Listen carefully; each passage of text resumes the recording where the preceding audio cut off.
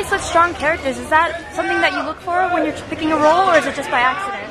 I think that maybe I do, in a way, look for the strength in my characters. That people always are sort of have a lot of sides to them, and I never sort of see a, a single side to my character, and, and maybe that's what you're observing.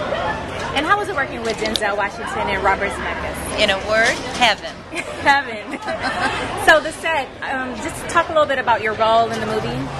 I play Ellen Block, and uh, I've spoken about and cited from a distance early on in the film. I don't appear till towards the end of the film. Denzel's being prepared for a hearing that he must sit, and uh, I will be questioning him in that hearing.